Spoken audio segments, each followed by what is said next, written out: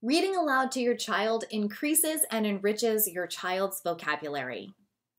In this video, we will be exploring vocabulary enrichment and how to provide opportunities for your child to develop his or her vocabulary through the consistent practice of listening to a read aloud.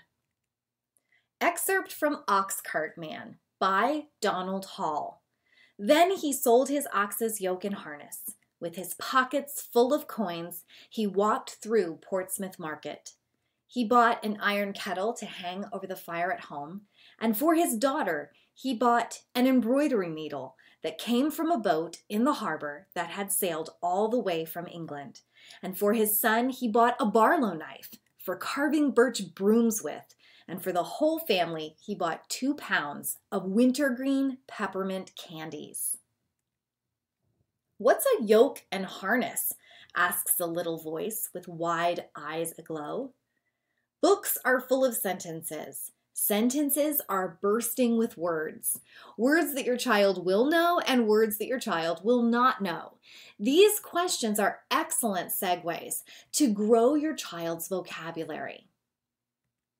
Because vocabulary encompasses words and their meanings, reading aloud to your child enables him or her to hear how words are used in sentences within the context of the story. Vocabulary surfaces within language skills, so the more a parent reads to his or her child and talks with them about what is read, the better a child's vocabulary will grow. Children's books indulge with colorfully artistic pictures, sketches, and photographs, so learning new word meanings by finding them in the illustrations is a breeze. Pointing to a picture and associating it with an unfamiliar word will enhance a child's understanding of what the word means. For example, while reading The Oxcart Man, a parent could say, Look, you see that wooden bar across the ox there in the picture? The parent can point to the ox cart man next to his cart. The child might respond, Oh, that's a yoke, but I thought it had something to do with an egg. The parent can then use this opportunity to explain that the word yoke has two different meanings. But in this story, yoke means the ox's bar that attaches to the cart in the picture. Using picture books to launch short conversations about the meanings of unfamiliar words is another great way to build a child's vocabulary bank.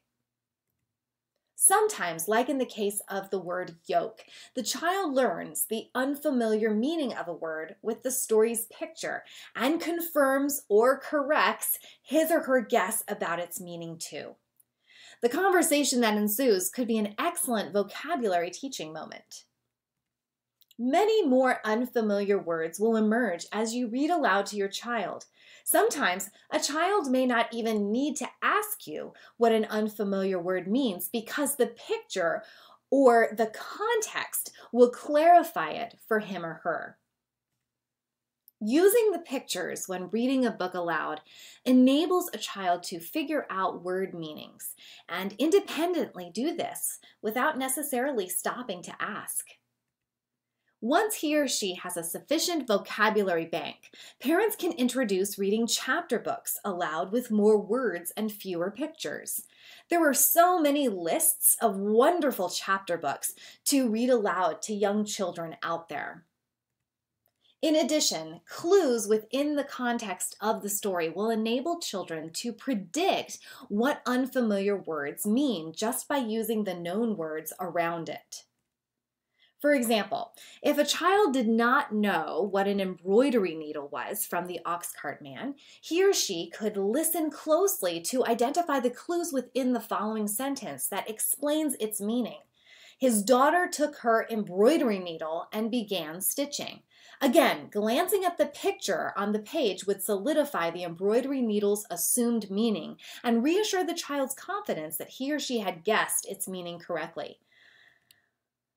Developing your child's vocabulary by reading to him or her every night before bed will substantially impact his or her language enrichment and reading development. To learn more, visit slowandsteadygetmereadyforkindergarten.com.